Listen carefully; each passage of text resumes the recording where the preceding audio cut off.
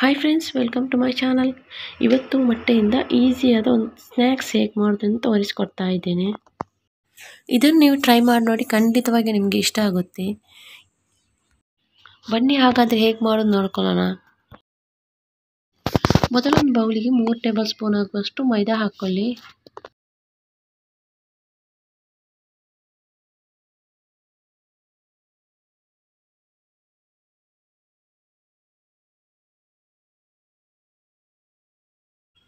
ನಂತರ ಇದಕ್ಕೆ ಎರಡೂವರೆ ಟೇಬಲ್ ಸ್ಪೂನ್ ಆಗುವಷ್ಟು ಕಾರ್ನ್ಫ್ಲವರು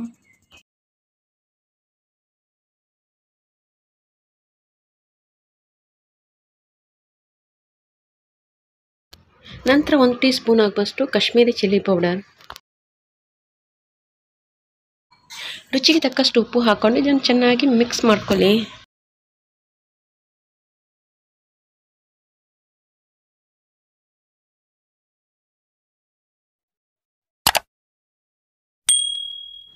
ನೆಕ್ಸ್ಟ್ ಒಂದು ಬೌಲಿಗೆ ಎರಡು ಮೊಟ್ಟೆಯನ್ನು ಹಾಕಿ.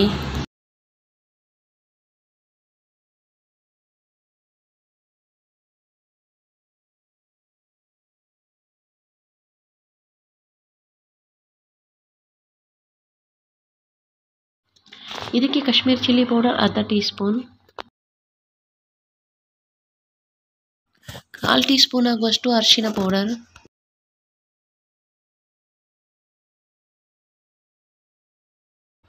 ಒನ್ ಟೀ ಸ್ಪೂನ್ ಆಗುವಷ್ಟು chicken masala powder. Chicken masala ಇಲ್ಲ ಅಂದರೆ ಅರ್ಧ ಟೀ ಸ್ಪೂನ್ ಗರಂ ಮಸಾಲ ಹಾಕಿ. ನಂತರ ರುಚಿಗೆ ತಕ್ಕಷ್ಟು ಉಪ್ಪು ಹಾಕಿ.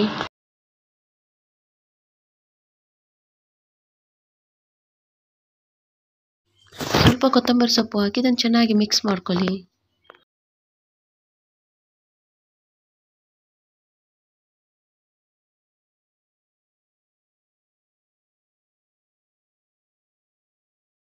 ನೆಕ್ಸ್ಟ್ ನಾಲ್ಕು ಮೊಟ್ಟೆಯನ್ನು ನಾಲ್ಕು ಭಾಗ ಮಾಡಿ ಕಟ್ ಮಾಡಿಟ್ಟಿದ್ದೇನೆ. ನೋಡಿ ಈ ರೀತಿಯಾಗಿ ಇದನ್ನು ಮೊಟ್ಟೆಗೆ ಡಿಪ್ ಮಾಡಿ. ನೆಕ್ಸ್ಟ್ ಈ ಮೊಟ್ಟೆಯನ್ನು ಕಾರ್ನ್ಫ್ಲವರ್ ಮತ್ತು ಮೈದಾ ಮಿಕ್ಸ್ ಮಾಡಿದ್ದೇವಲ್ಲ, ಅದಕ್ಕೆ ಹಾಕಿ.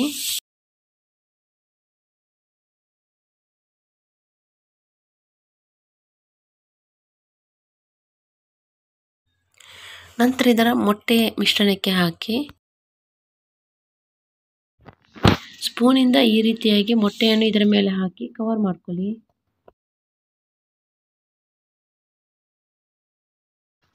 ನಂತರ ಈ ಮೊಟ್ಟೆಯನ್ನು ಈ ಬ್ರೆಡ್ ಕ್ರಮ್ಸಿಗೆ ಹಾಕಿ.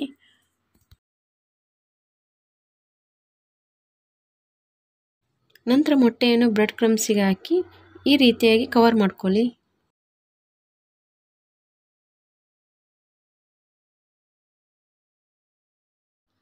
ನೋಡಿ ಈ ರೀತಿಯಾಗಿ ಮಾಡ್ಕೊಳ್ಬೇಕು.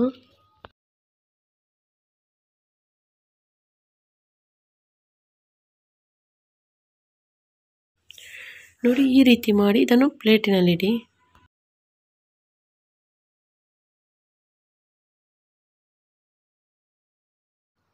ಹಾಗೆ ಇನ್ನೊಂದು ಮಾಡಿ ತೋರಿಸ್ತಾ ಇದ್ದೇನೆ. ನೋಡಿ ಈ ಬೇಯಿಸಿದ ಮೊಟ್ಟೆಯನ್ನು ಮೊಟ್ಟೆ ಮಿಶ್ರಣಕ್ಕೆ ಡಿಪ್ ಮಾಡಿ. ನಂತರ ಮೈದಾ ಮತ್ತು ಕಾರ್ನ್ಫ್ಲವರಿಗೆ ಹಾಕಿ.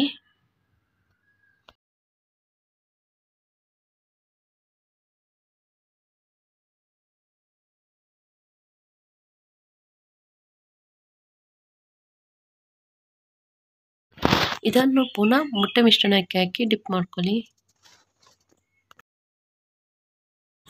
ಮೊಟ್ಟೆ ಮಿಶ್ರಣವನ್ನು ಈ ರೀತಿ ಇದರ ಮೇಲೆ ಹಾಕ್ಕೊಳ್ಳಿ.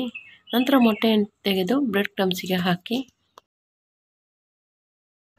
ಈ ಬ್ರೆಡ್ ಕ್ರಮ್ಸನ್ನು ನಾವು ಕೈಯಲ್ಲಿ ಈ ರೀತಿಯಾಗಿ ಈ ಮೊಟ್ಟೆಗೆ ಅಂಟ್ಕೊಳ್ಳುವಂತೆ ಹಾಕಬೇಕು.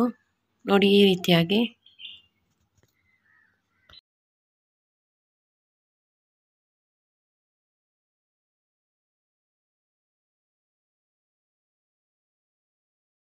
ಹೀಗೆ ಎಲ್ಲವನ್ನು ಮಾಡಿ ಮೊಟ್ಟೆಯನ್ನು ಪ್ಲೇಟ್ನಲ್ಲಿಡಿ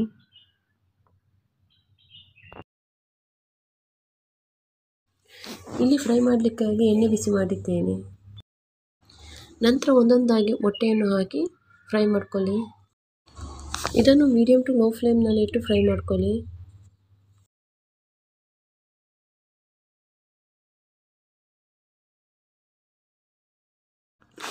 ಒಂದು ಸೈಡ್ ಆದ ನಂತರ ಇನ್ನೊಂದು ಸೈಡ್ಗೆ ಹಾಕಿ ಫ್ರೈ ಮಾಡ್ಕೊಳ್ಳಿ. ಇದು ಬ್ರೌನ್ ಕಲರ್ ಆಗಬೇಕು. ಅಷ್ಟರವರೆಗೂ ಫ್ರೈ ಮಾಡ್ಕೊಳ್ಳಿ.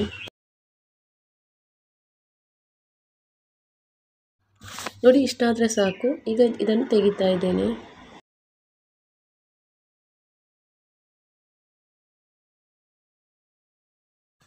ಹಾಗೆ ಉಳಿದದನ್ನು ಹಾಕಿ ಫ್ರೈ ಮಾಡ್ಕೊಳ್ಳಿ. ಇದನ್ನು ಲೋ ಟು ಮೀಡಿಯಂ ಫ್ಲೇಮ್ನಲ್ಲಿಟ್ಟು ಫ್ರೈ ಮಾಡ್ಕೊಳ್ಳಿ. ಬೇಗನೆ ಫ್ರೈ ಆಗುತ್ತೆ. ಇದನ್ನು ನೀವು ಬಿಸಿ ಬಿಸಿ ಇರುವಾಗಲೇ ತಿನ್ನಿ. ತುಂಬಾ ಟೇಸ್ಟ್ ಆಗಿರುತ್ತೆ, ಫ್ರೆಂಡ್ಸ್. ಇದು ಹೊರಗೆ ಕ್ರಿಸ್ಪಿಯಾಗಿ ಒಳಗೆ ಸ್ಮೂತಾಗಿ ನಿಮಗೆ ತಿನ್ನಲಿಕ್ಕೆ ಸಿಗುತ್ತೆ. ತುಂಬಾ ರುಚಿಯಾದ ಈ ಸ್ನ್ಯಾಕ್ಸನ್ನು ನೀವು ಬೇಗನೆ ಮಾಡ್ಬೋದು.